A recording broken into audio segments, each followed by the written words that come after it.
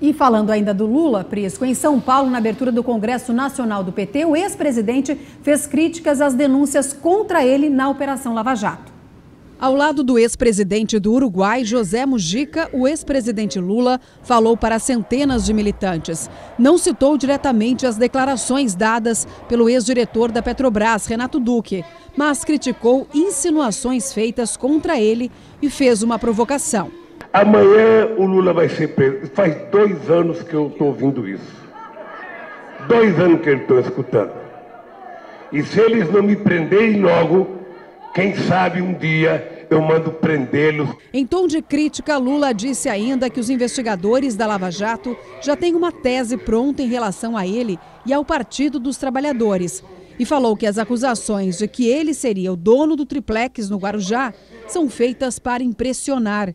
Eu todo santo dia fico esperando alguém dizer: esse Lula deve ter roubado muito porque eles falam de um triplex para tentar impressionar vocês.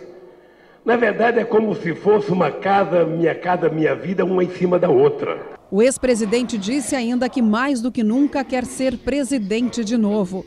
E também durante o evento falou do prefeito de São Paulo, João Dória. Uma almofadinha, um coxinha, ganha as eleições em São Paulo ganha as eleições em São Paulo, se fazendo passar junto ao povo mais humilde de João Trabalhador.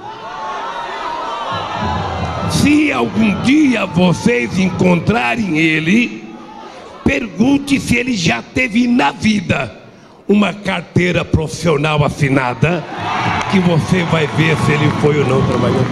Nas redes sociais, João Dória rebateu.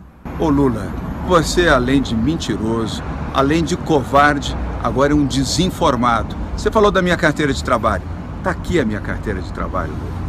Eu, com 13 anos de idade, eu já trabalhava, fazia o que poucas vezes você fez na sua vida. Eu trabalho, Lula, e trabalho honesto. Eu sou decente, diferente de você, Lula. Eu trabalhei a vida inteira para ter um patrimônio moral que você não tem. Eu tenho.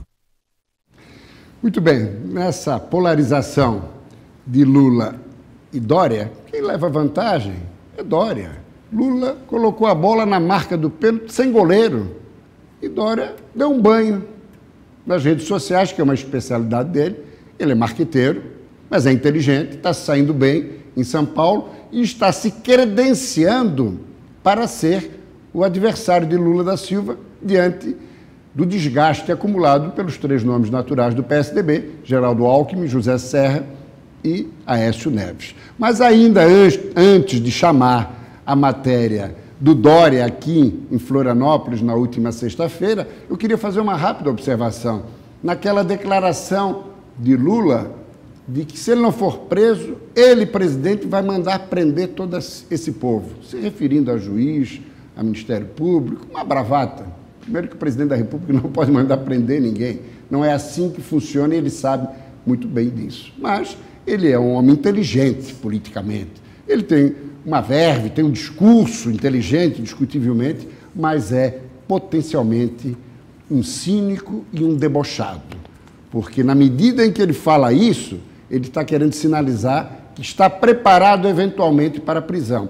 E foi justamente essa declaração que fez com que o juiz Sérgio Moro desse a sua, para neutralizar esse clima de confrontação que um ex-presidente da República está criando, quando deveria observar a liturgia do cargo que ele exerceu como presidente da República, não. Ele fica incitando a balbúrdia e a bagunça na próxima quarta-feira em Curitiba. Lamentável.